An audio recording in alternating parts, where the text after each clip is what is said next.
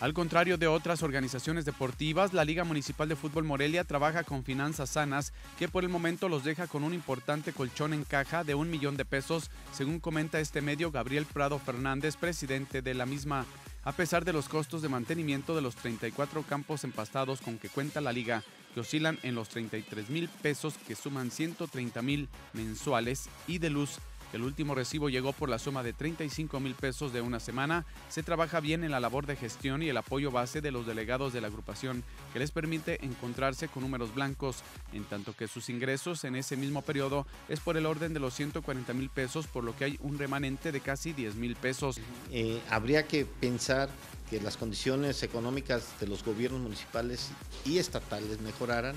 y que subsidiaran, porque además es un espacio en donde se practica y se fomenta el deporte de manera gratuita para todos los morelianos. La liga actualmente trabaja con 30 personas y 620 equipos que reúnen a casi 20 mil jugadores, más ligas y participaciones externas en los campos que hay que atender.